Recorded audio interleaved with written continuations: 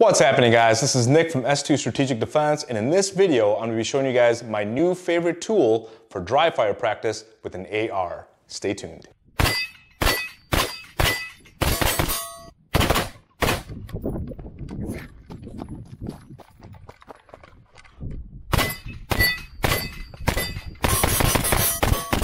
All right, guys, welcome back. Man, it's been a long time since we've done some videos for our YouTube channel. Don't be offended by it. Just been super busy with the business and just you know travel and all kinds of different stuff. But right now it's holiday season and hopefully I have a little bit of downtime to make some more videos and kind of re-engage with you guys.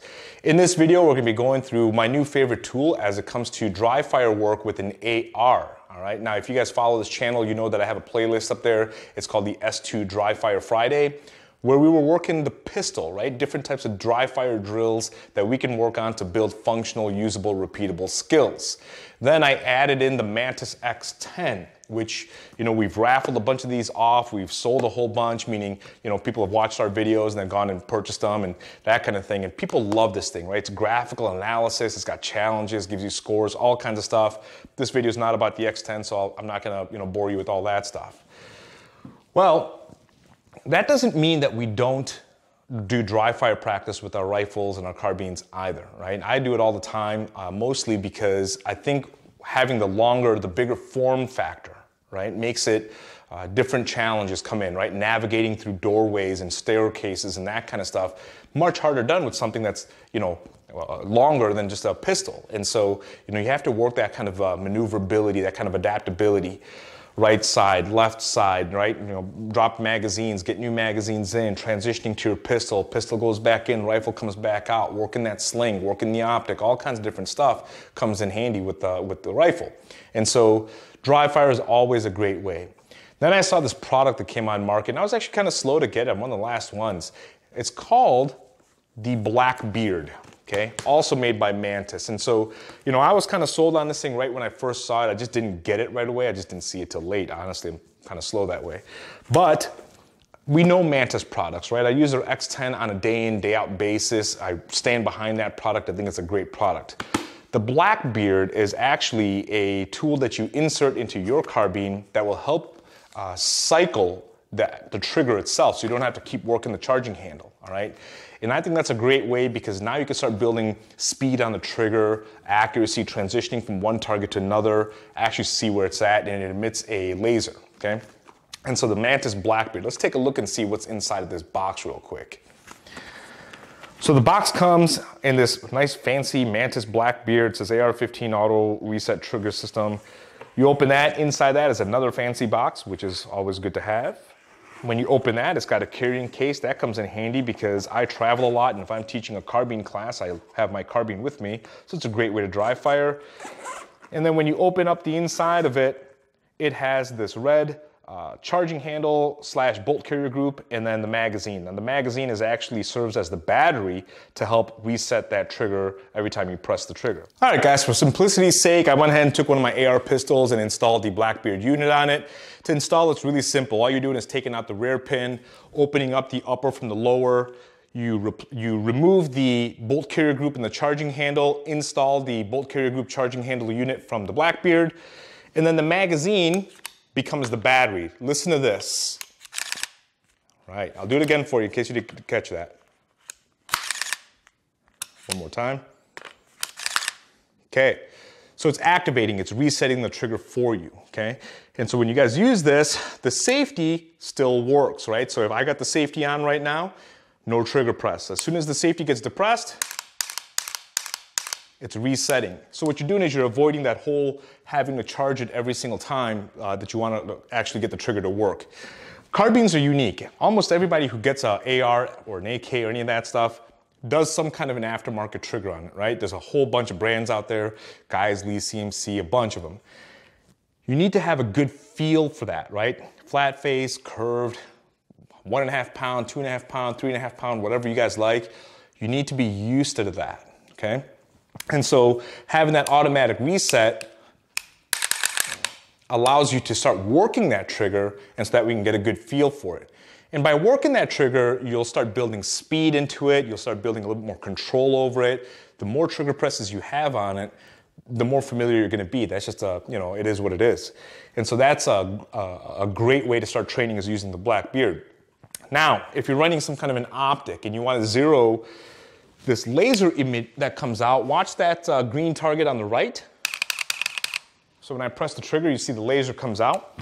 If you want to zero that to your optic, on the bolt carrier group component, there's a couple screws over here, Allen keys, that you can go ahead and adjust windage and elevation. Okay, so take it to the range with you and you can start, you know, zeroing this thing back out uh, according to your optic. Why is that important? Because now you can start working the offset aim, right? Height over bore issues when it comes to optics. Okay, so you have that part of it. The battery life in this thing, now they say about 7,500 to 10,000 trigger presses and it's gonna need a charge. Uh, I've got about 5,000 into this one. Haven't charged it yet, still seems to be running pretty strong.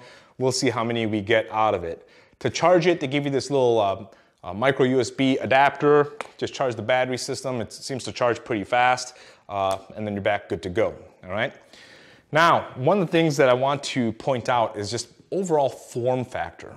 Right. If you're working a carbine, let's just say for home defense, you have challenges because of the form factor. It's longer than a pistol, right? And so if you're navigating through doorways or hallways or staircases, you're dealing with the length of the firearm, right?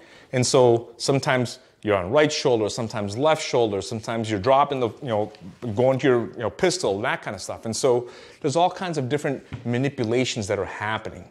You don't get good at those unless you can actually dry fire them. And so, you know, this is a great way of being able to do that. For me, I take these same, you know, IDPA or IPSC type uh, targets and I put them around through the house and I navigate the house and you know clear the house and that kind of stuff because I want to work in a real world environment. Can't necessarily do that at the range and I can't get to the range every single day, right? And so, you know, it's a useful tool when it comes to that. So let's put this thing in action real quick. Huh? I'll show you guys one quick drill that we're gonna do on this uh, on the targets that are behind me using the Blackbeard. Stand by. All right, guys, so what I want you to do is take a look at the two uh, IDPA type targets, which is the cardboard ones that are on the stands over here. We're gonna do a basic box drill. Box drill meaning we're gonna go two center mass on the left, two center mass on the right, headshot right, headshot left, okay? So uh, a total of six shots there, okay? So when we say go, go, okay, that's a basic box drill. Let's do it again. Go. Good. Again, and go. And again. Go.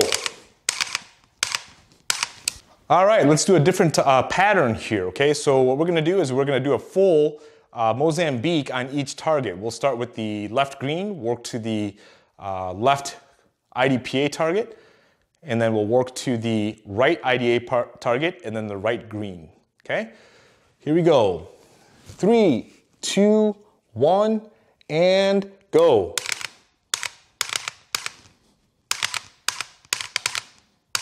Good. Okay. And let's go left green, then the left cardboard, right green, right cardboard. So we're going straight across the board here. Okay. Here we go. Three, two, one, and go. Good, safety's back on.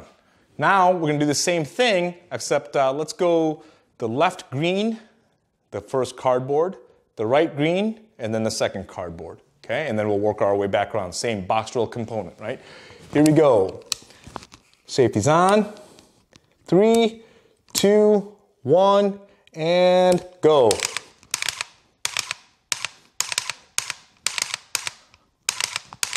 Good. Man, that thing's just a lot of fun to work with every single time. One of the other things that we can do is I use this along with my SIRT pistol quite a bit as well. SIRT pistol, as in here, that emits a red laser, right? And so we could start, you know, uh, doing the transitions, you know, uh, working off the rifle onto the pistol, pistol down, get the rifle back in, and that kind of a configuration as well. All right, guys, so that's uh, the first basics about the Blackbeard. Now I'm gonna be doing more videos, doing some dry fire drills with you guys on this thing, uh, as well as the pistol as well. maybe we'll bring back uh, S2 Dry Fire Friday, right? It's been kind of fun. There seems to be getting uh, good feedback. Uh, if you guys are interested in training along, obviously make sure you guys like, share, subscribe, hit the notification bell because you know it feeds the algorithm. And if you want a Blackbeard or a Mantis X10, right? Go down the description. I'll put a couple affiliate links down below. Help us out. I'll see you guys in the next one.